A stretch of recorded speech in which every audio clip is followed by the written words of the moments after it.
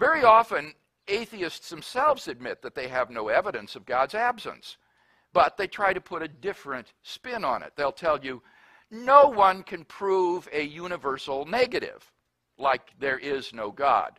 They think that this somehow excuses them from needing evidence against God's existence.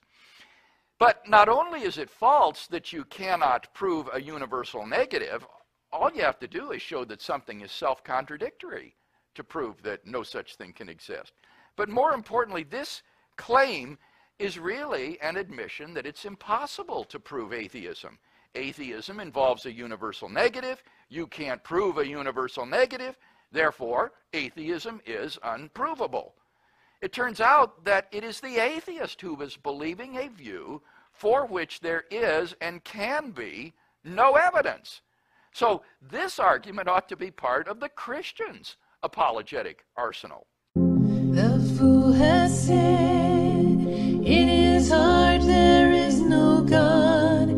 They are corrupt. They Here I am to prove to you with one single uh, conclusive argument that there is no God. Okay, here, this is going to be pretty intense, so I hope you're bracing yourself and holding on, you know, just holding on to something, because um, I don't want you to fall over from shock. Okay, you ready? Ready? Okay, here we go. My argument is that I really don't have an argument because I really can't prove to you that there is no God. Hey, listen, don't beat yourself up too much. Don't be too hard on yourself at all.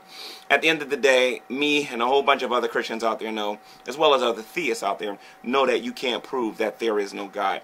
At the very best, all you can do is share with me what your religious beliefs are, or what your, or what your religious uh, uh, faith is about there being no God. But you can't sit there and prove to me that there is no God. You just can't do it because of your limited education. I'm, I'm, I'm just saying. And for one simple, very simple reason why. Um, and I'm sure you've heard this before, or at least I would like to hope that you've heard it before, and that's that you can't disprove or, or prove, whichever way you look at it, in negative. Wait a minute, that's not true. Can, can we take this theory to a test right now, real quick, if you don't mind? Um, I'm holding a glass cup up right now. Um, do you see my glass cup and, and, and, and the sleek design? That, oh, I'm not holding a glass cup up. Can you prove I'm not holding a glass cup right now? You can. Then guess what? You can prove a negative.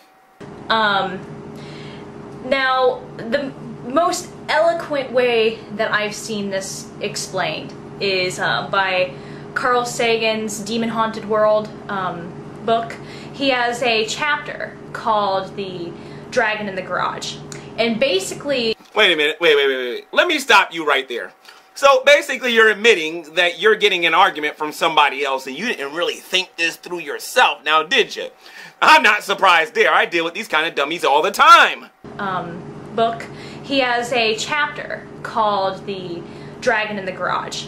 And basically what this gets into is that there's an invisible dragon in the garage and it, you can you can read this online, I'm sure, if you Google Carl Sagan Dragon in the Garage. But basically, there's this invisible dragon in the garage that you can't see, but we know that he's there. So you you ask the guy who has this invisible dragon in the garage. He's like, "Well, can can I touch it?" And he's like, "Oh no, the dragon's immaterial." Oh well, then maybe we can pour flour on the floor and see his footprints. Oh no, he actually flies, and besides, he's immaterial. And it goes on and on and on. The goalpost keeps getting moved and moved. And at the end, it basically says that why why should I believe this dragon who has all this fire-breathing capabilities that I can't see, feel, touch, whatever, uh, or test in any type of way? Um, is that really any better than just you know, is, isn't it better just to not believe the dragon's there at all? How do I know that this dragon's really there?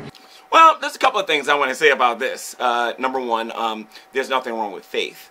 Um, you can believe by faith that this invisible dragon dinosaur thingamaboggy that you invented, not me, is actually there, and I would be, and I would be totally justified in believing this by faith. In fact, the, Bible, uh, the God of the Bible says that we can know that He exists by faith. In fact, if we trust Him by faith, He will make Himself very real to us after we trust Him by faith, not the other way around. Now let's put this theory to the test on whether or not you can prove a negative. Now I want to introduce you guys to somebody. Can you come over here a minute, please? Thank you. Can you sit right here? Thank you. How are you doing today? Oh, I'm, I'm, I'm doing just fine. Oh, oh, you want me to put my arm around you? Okay, cool.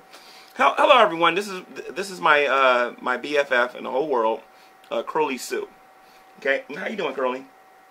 Well, tell them all that again. Okay. What do you mean? I'm sitting here by myself and I'm talking to myself. Don't you clearly see that Curly Sue is sitting right here? I'm talking to Curly Sue. Curly, don't worry, don't mind them. They're being very disrespectful towards you. Uh, I'm talking to Curly Sue. Okay, can you prove to me that I'm not talking to Curly Sue right now? What evidence do you have that I'm not talking to Curly Sue right now? I believe that Curly Sue's there, so I should be able to talk to Curly Sue as long as I want. But until you prove that Curly Sue is not sitting here, who are you to tell me that I'm crazy and to think that you are justified to tell me that Curly Sue isn't here? But that, I'm sorry, Curly. These are some really rude people on the internet. Thank you. Okay. Yeah, I'll be there in a moment.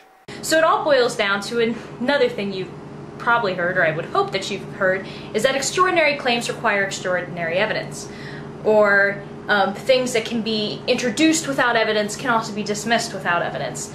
Um, now, the whole idea here is, you know what, I, I can't prove that there is no God, Sammy. I, I really can't. And um, I'm really comfortable with that, and I really don't feel like that's something that destroys or crushes my atheism. Um, you know, I, I just don't have evidence for it. So it's not really my responsibility to give you a good argument to, you know, why um, why there is no God. Because I can't prove there is one. I don't think there is one. I find it highly improbable. No, don't think there's God. So pretty much I done annihilated everything that she said in this video, but um, th there's another point that we need to get to about extraordinary claims requiring extraordinary, extraordinary evidence. Hmm. Where's your evidence for this?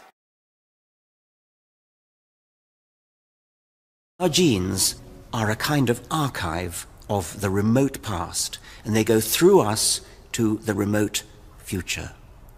Henry Dawkins may be my four greats grandfather, and he's put some genes in here. But my 200 million greats grandfather was a fish, and by the way, the same fish was your 200 million greats grandfather too. Now, I do want to let you know that I believe that I'm created in the image of God and I'm fearfully and wonderfully made and I was created with a purpose. You, however, believe that you evolved from a fish. Where is your evidence for this? And I'm sorry if, if I'm disrespecting you or anything like that because I know some people believe that they evolved from a rat or a rock. Where is your evidence for this? Where is this extraordinary evidence that you evolved from a fish? Where are your gills? Where are your fins? How come you can't breathe underwater? Where is your evidence that you evolved from a fish? Oh, you don't have any evidence for this. You get the point? The argument is stupid, okay? You want the extraordinary evidence for God? You look at nature, okay?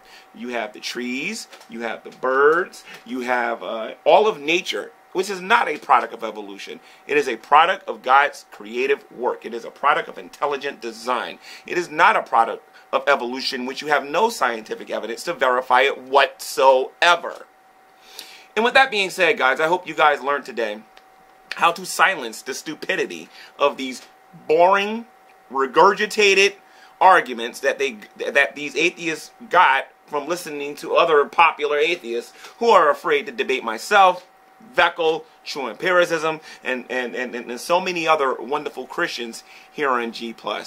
And until next time, guys, this has been another edition of uh, Preaching to the Choir Ministries, laying the smack of down on atheism just one more time, telling you all to read your Bible and do what it says. God bless.